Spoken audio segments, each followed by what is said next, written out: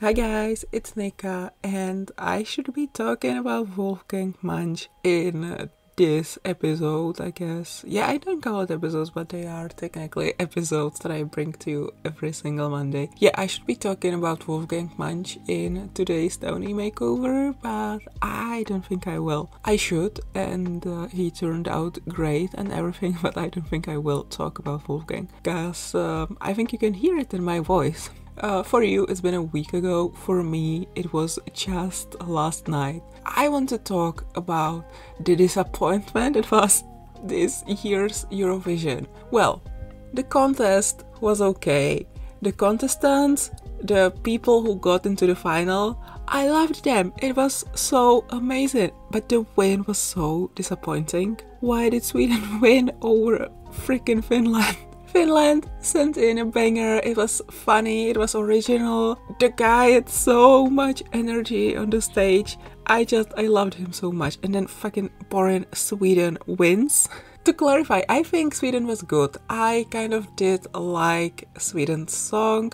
I think Loreen is an amazing singer, but it's not something I want to see in Eurovision. My favorite entries in Eurovision are always those that are like creative and crazy or entries that draw inspiration from their country's folklore, entries that are not in frack, fracking English, fracking, okay, songs that are not in freaking English, and Sweden fucking wins with a basic radio friendly song like that. And considering next year is like ABBA anniversary, 50 years since ABBA won, and ABBA is Swedish, making it Sweden, like making Sweden hosted 50 years after ABBA won. That seems a bit sus, that seems a bit tricked. And um, I mean, I'm not sure if it was, but it seems sus at least. I am so upset. And like I said, this has been such a great Eurovision. So many great songs. I don't think I had this much fun with Eurovision ever. And I don't think any of the previous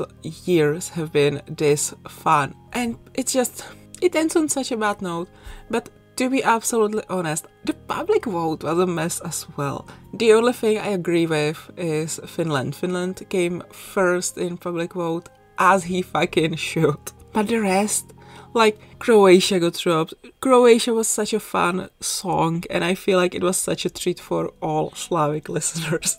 because Slavic languages are so similar that when you catch something, that you understand. It's like yeah, it's a treat, and the lyrics were truly like they were so funny and and everything, and just overall Croatia was a delight to see, and uh, yeah, truly the Eurovision spirit.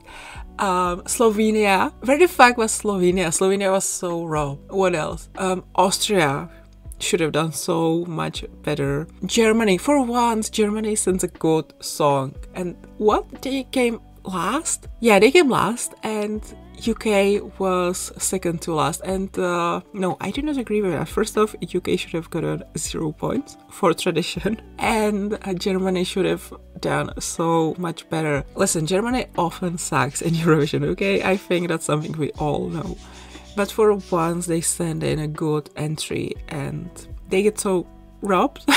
This is making me feel the same way France made me feel last year. Last year, France sent such a good song, and it was like, well, it because when France sends a sends an entry, it is always so French and so like Paris and um, Oui Oui Baguette and Eiffel Tower, and you know, it's just so painfully French. Exactly what you would expect from France. But last year they sent such an interesting entry and they got so fucking robbed. And I listened to that song daily and I think it's such a good song and they got so robbed. So that's what reminds me of this year's Germany because Germany sent such an interesting, such a great song, something completely different from what they usually do and they just they came last. No, they did not deserve to be on, in the last place. I'm sorry. And as for my country, we also fucking deserved better.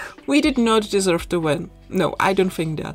But we deserved so much better. But at least we got our first ever 12 points from the juries. That's the only good thing.